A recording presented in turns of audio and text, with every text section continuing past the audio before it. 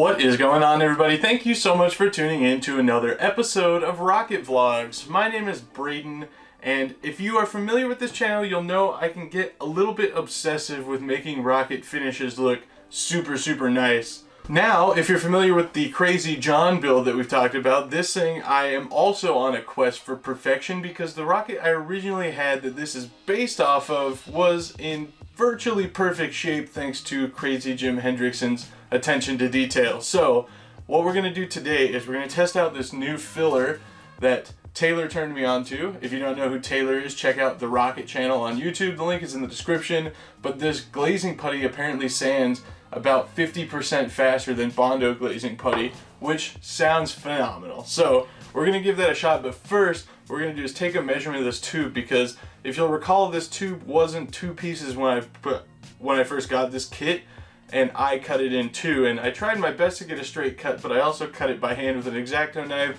using a piece of printer paper to true the end. Once again thank you for tuning into Rocket Vlogs. If you're not subscribed please hit the subscribe button. The goal is to hit 50,000 subscribers by the end of the year and I'll be giving away a level 3 size 7.5 inch Patriot rocket kit if we can reach that goal. So please hit the subscribe button and let's get to work.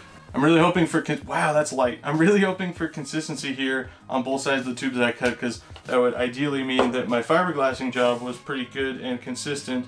So what I like to do to make sure I'm at the center of tubes when I'm measuring something like this is give it a couple passes and just kind of let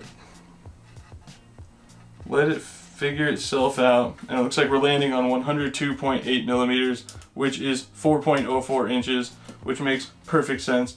And then which side is the side that I cut? That would be this side. And it looks like that is pretty much identical. Look at that. I did a good job. So we're gonna take that 102.8 millimeter measurement and go do some 3D design work. Also forgive the mess that my little office space is here right now. It's been a crazy couple of days. I know it needs cleaned. I'm going to do it. I know there's a few of you that love to pay close attention to the background and how messy things are. So there you go. I've had a couple people ask me about my 3D printer setup. It's just an Ender 3 V2 with some very basic modifications. The BL Touch auto leveling system and it also has custom firmware that I loaded so you can do manual override on the bed leveling. And um, I very meticulously, about every three months, will change the nozzle. And then I meticulously sit here with a piece of paper or using the BL Touch and the manual override to specifically level the bed. And then of course, I do an auto level before every print. So um, I try to keep it as level and perfect as I can keep it. And then I also spray the bed with Aquanet every once in a while. Um, clean it with rubbing alcohol very meticulously first. Spray it with Aquanet. Obviously take it out of the enclosure and off the printer to do that. And then uh, I let it, while the Aquanet's still drying, I set it on the heated plate, which I know a lot of people take issue with the fumes getting into the fan and everything, but my theory is that by the time it's sitting there, all the aerosol stuff is pretty much gone. I don't know if there's actually any merit to that. But yeah, pretty basic stuff and I just try to keep it ready. I don't 3D print a lot of stuff, but I do try to keep it nice and concise so that everything is just, I can just plug stuff in and print it and not have to deal with problems for half an hour or an hour or two hours like I've experienced in the past. So I try to keep on top of the maintenance. It's in a cheap enclosure because I pretty much exclusively print PETG just because uh, can I guess. I don't know.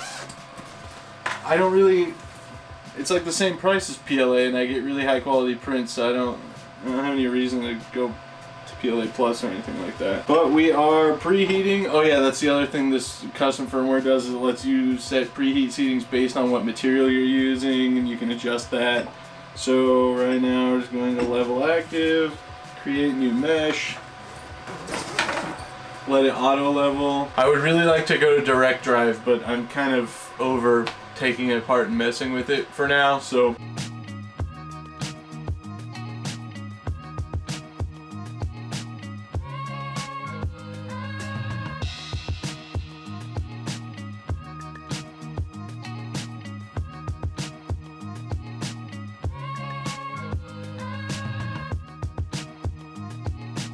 The back door is open for those uh, worried about ventilation, by the way. Okay, here's something I love about using this stuff so far is that it dries super fast. So instead of having to repaint and do whatever and see what else, you just very meticulously take forever and wait for the Bondo glazing putty to dry. You can kind of start handling it within like 10 minutes. So that's still a little tacky right there. So what I'm doing is just going over areas that I can still feel, putting circles around them, and then I'm going to make one last batch of this stuff. We're going to give it one more run and try and get all the problem areas we have on both pieces of the airframe.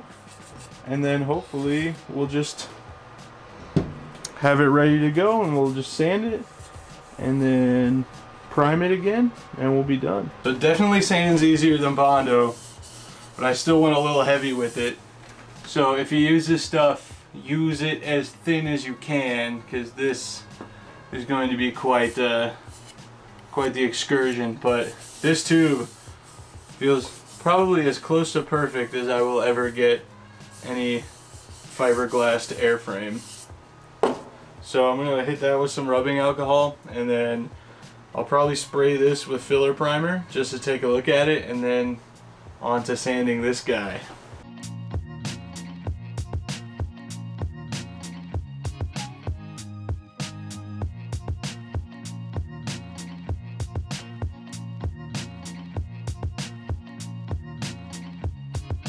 Alright guys, it's been an hour since I saw you last.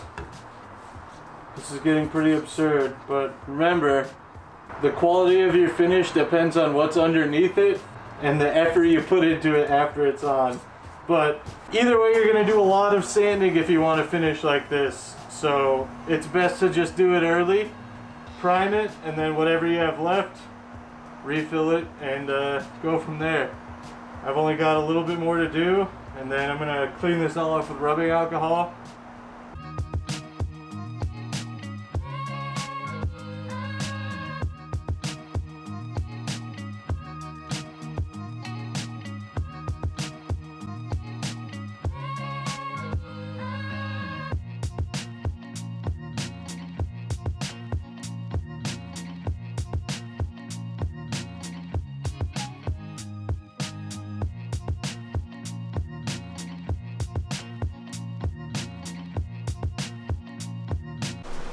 It's looking pretty dang good, but not quite perfect. There's still a few minor things here and there that I need to make some adjustments to, like that guy right there, but otherwise looking pretty good.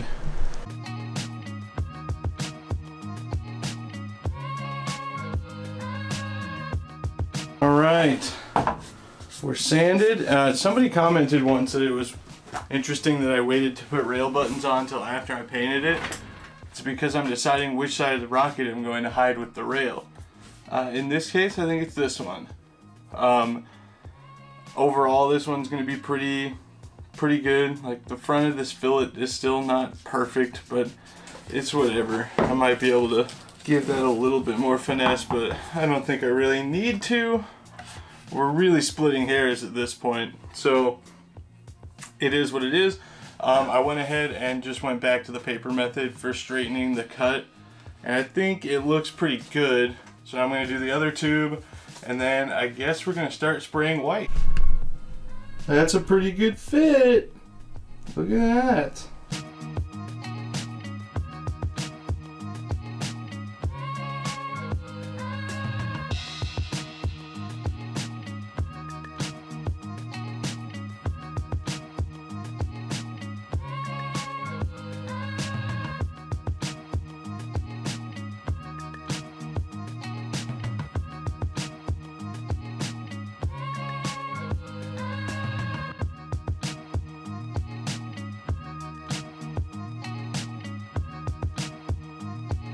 This one's for the motorcycle people on the channel. There's my roommate's FZ09. Okay, I'll be honest, it didn't come out as good as I had hoped. There's still a lot of little bits and pieces that you can see thanks to the gloss white paint. But I think I think we gotta cut our losses here. It, it's just a little too extreme to roll as far as sanding and filling that all again. Um, there's two coats of gloss white on there. I mean, it looks good. It looks really good. It looks better than a lot of stuff I've ever done before. You can't tell the tube or the fins are glass. It looks really, really nice. But there's still that part of me that's like, I was on this quest to make it flawless. But then, if I do that, you know the rule, it's gonna get lost. So I think we just leave it where it's at. So I was gonna do this whole video topic, or show you guys how you can make satin paint look glossy because I didn't have the apple red that I needed in gloss. I don't know how well you can see that texture, how it looks like 60 grit sandpaper. That's what it feels like too. Um, I had a really nice couple coats on there the red and it was great. And then this morning when I went to shoot it, uh, it just started spraying plaster for some reason. So now I'm gonna have to sand that entire nose cone down. So now my internal debate with myself on this is if I want to wet sand it and throw some clear over it and give it some super nice depth, but I don't think I do. I think I'm content with it where it's at. Plus, uh, more clear coat, more sanding, more fillers just gonna make it a little bit heavier, and I I'm pretty good with where it's at. It's light, and it looks beyond good enough for for a four inch simple cheap rocket that I paid like 60 bucks for.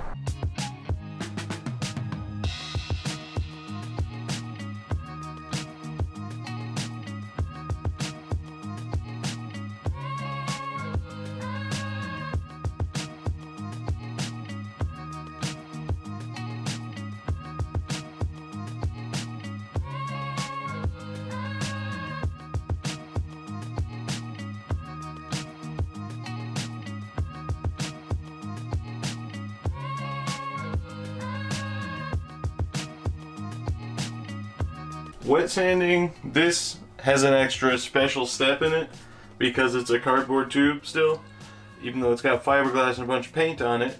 Obviously, for one, we're starting with a clean piece of sandpaper, so we're not putting red paint in our white paint.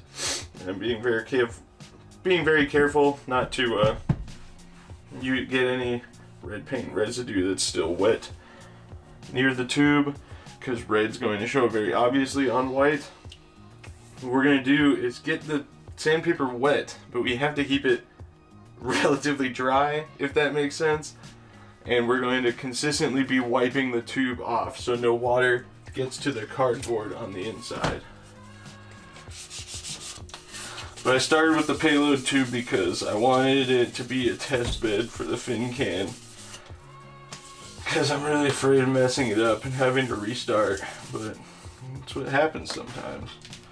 A little bit of water inside the tube, which, like I said, is kind of exactly what I didn't want to happen, but you just gotta make sure it doesn't stagnate there for a while. Okay, folks, now is where we play the waiting game. Um, I see a lot of people talking about how they have problems with Rust-Oleum when they're painting, and I hate to inform you of this, but it is probably 99% of the time user error. And I only confidently say that as somebody who has committed pretty much every user error you could commit with Rust-Oleum or spray paint in general. Read the cans, because this is where the waiting game comes to play. I just sprayed some more white on the fin can, which means it's Sunday afternoon. I can't put clear coat on that until Tuesday. 48 hours. If the paint's not completely dry, but you don't do it fast enough, it causes shrinking. That's what you see all the wrinkling and stuff. The only thing I really don't have an answer for is what happened with the nose cone. But we solved that problem. We have a fresh can of paint. It seems to be spraying properly. So I'm going to take the nose cone out, give it another go here in a few minutes, and hopefully, because uh, that's been drying for about half an hour since I wet sanded it. It's only been about 18 hours since I sprayed that red, so there's a good chance I'm setting myself up for failure here and it's just gonna wrinkle and fall apart. I'll let you guys know how that goes. I always like to push it, but with white, it's so finicky and I really just don't want to restart, so that, uh, the upper tube has been sitting for about 24 hours and about 45 minutes since I wet sanded it. So I'm gonna wait till tomorrow afternoon to paint it. And then two days from now is when I think I'm just gonna skip the wet sanding on the fin can section and try and get a decent coat of clear on there uh, or two and then hopefully it'll be okay and I won't need to wet sand and buff that out but if I do need to wet sand and buff that out we'll do it it's winter I don't got anywhere to be no rockets to fly just yet but uh, yeah other than that we're just waiting so I'm gonna clean my workspace up here and that's gonna be pretty much it. Several days later. My meticulous preferences have struck once again, and I didn't like how the aero pack looked. So I cut the extra half inch of tube off and I scraped a bunch of the paint off on accident with an X-Acto knife. So I could order the flanged one so that it would sit half an inch closer to the rocket. Yes, I actually did that. And yes, I actually just spent $30 because I didn't like how that looked. This place cleans up pretty nice, huh? Alright. So, the Crazy John. It came with the U.S. Army sticker, but it didn't come with the black bands that go around the airframe. And I'll throw some pictures in but the Little John is one of those rockets where you can tell the military wasn't real specific about the layout of the decals or what decals went on it or what paint job to put on it. Um, there's a picture of it, it looks just like that with no paint or no decals on it at all. Some of them just have this. Some of them are all white. A lot of them are olive drab, obviously. Some of them have the bands around. Some of them have the bands and then another line connecting them. A lot of different options there.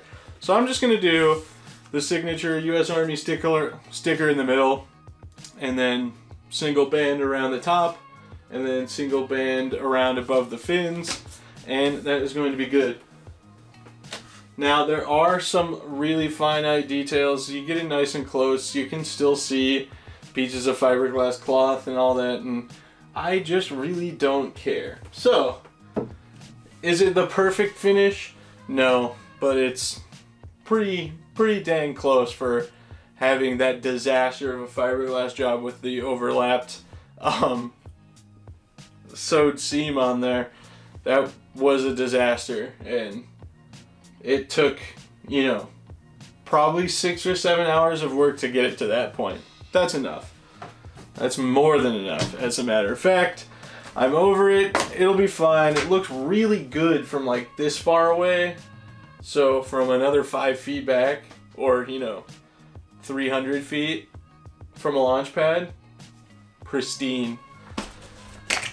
Um, pretty soon I'm going to be doing a video on glassing with sleeves, though that'll be pretty fun. Um, that's going to be another Patreon thing. I don't know if I've gone over that rocket. Uh, I got a really cool, another vintage rocket that uh, was from one of the Tripoli Idaho vendors from the early 2000s. And he just donated a bunch of stuff to the club, and the club held a raffle to raise money for the club, to just generally generally raise money for the club, and uh, I ended up winning it, which is super cool because it's uh, a rocket I really really want. I have it now, but uh, we'll we'll address that in another video. It's actually along similar lines to this little John, because if you'll recall, I bought this little John because I used to have a BSD little John. The kit that I got is a BSD kit, but it's a lot bigger. So, we'll get to that another point. For now, I'm going to whip up a quick design for some black bands, and I'm going to cut them out of vinyl, and then we are going to dress up the little John. All right, you guys know the vibes. Use that math you learned. What is the circumference of my 4.04 diameter tube. Yeah, yeah, 2 pi r. Let's just be concise with it. It's pi d. It's about 12 and 3 quarters, just a hair under. So I'm going to push this probably an eighth of an inch under 13 inches. That way we've got room for me to inevitably mess some things up. Um, the sticker is, the lettering is an inch and a half tall and I wanted it to be just a little bit thinner than that. So I, so this is going to come out hopefully about an inch and a quarter. And uh, we're going to cut two of these out of some black vinyl, and then we will be on our merry way to making the Crazy John pretty.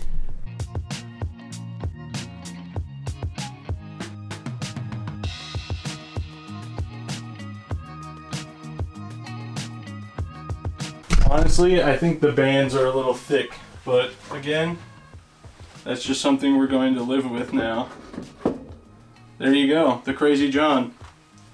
So, I do have one more thing to do for this video for you guys, so don't leave yet. I'm going to show you guys how to wet sand and cut and buff the paint on this nose cone. No clear coat on the nose cone, we're just going to cut and buff the actual Rust-Oleum paint, and you're going to be blown away by how good it looks. But uh, yeah, so I'm waiting for all my sandpaper to get delivered. I ordered a big bulk pack of various uh, grits up through 3000 I'll put the link in the description because it was only like $8. But yeah, there you go. The Crazy John. I changed my mind.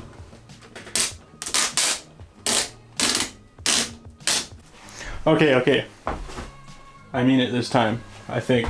I'm pretty sure I like it like that better. Um, yeah, we're the paint was not quite as ready to be messed with as I thought it was. It's been drying drying for probably 28, 30 hours, but there's some fingerprints in there. Um, I'll see by the time my sandpaper gets here if I care enough to wet sand the white. Because what we can do, we can wet sand the white and we can do the same thing we're going to do with the red. And that is just buff the paint. I've done it plenty of times. Yes, I know it's you scratch the surface of the paint, it'll go dull over time or whatever, what have you. I'm trying to think of a rocket I have that's like that still, but the last one I did that to, I believe. No, that was metallic, so I didn't do it to that one. Maybe I did? I can't remember. I buffed out one rocket. I think it might have been my 4-inch rocket that's in the ground now, so it really doesn't matter.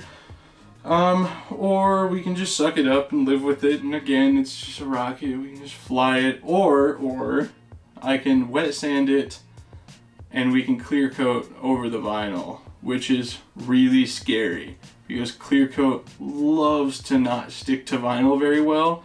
You almost have to dust it from like 10 feet away so that the next coat of clear has something to stick to. The problem with clear coat is if you do too light of a coat, it's so painfully obvious. It's all sprinkled on.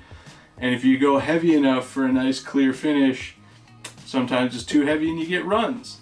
And then you get to sand it all out again anyway. I don't quite know how I feel about any of that just yet, but I have another day or so before my sandpaper gets delivered, so I guess I can think about it. But we will for sure be doing the nose cone. Um, I'm a little concerned about whether or not there's enough paint up top to sand. We're gonna be very, very careful. If I sand through it, a little touch of paint, you know that's the first thing paint comes off of on a rocket because it think on the ground and so who cares really, but you know, that's just me and my obsessive nature. So, but anyway, there you go, Crazy John. To be continued.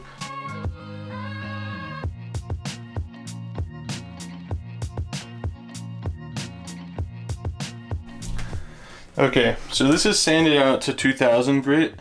If you were really, really about this life and you wanted just crystal clear, perfect reflection, amazing, perfect paint job, what you do is stop right here, let this dry for 24 to 48 hours, and then spray clear coat, two or three coats, and do this whole thing over again. Except start maybe at 600 grit, go 600 through 2500 or 3000 and then you'll buff it but I'm not that concerned about it. So what we're gonna do you can see uh, if I had gone with a heavier grit sandpaper all these marks here those are still low spots and it would be a lot better if those were all knocked down smooth and perfect but I'm afraid of going through the paint.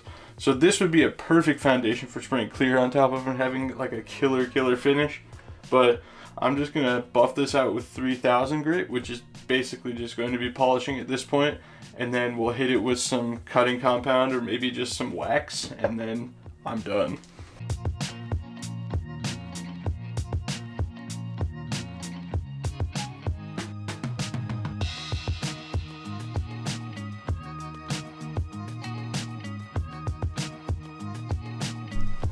Alright, very bright studio light is out, mostly because I want that reflection in the nose cone so you guys can see what kind of a difference this makes. First, we're gonna use this stuff. Usually I like Meguiar's 105, but I couldn't find any for sale locally. So we're just going with this. Do not use this if you're going to put decals on it, because this has a cleaner in it, which might make your adhesive not stick. But since this is just the nose cone, it's fine. Also, yes, in case anyone cares to notice, I did hit it on my ceiling and chip some paint off the tip of the nose, whatever.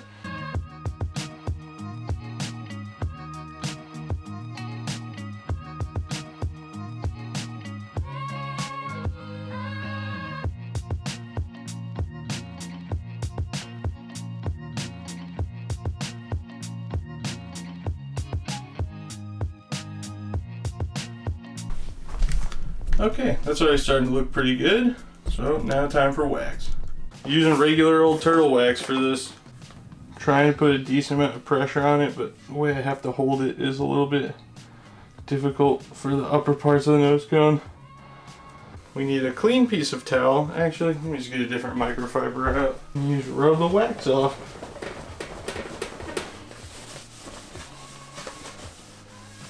There you go. So not quite like perfect clarity on that light reflection there. But uh, overall, more than good enough, especially since I chipped the tip anyway.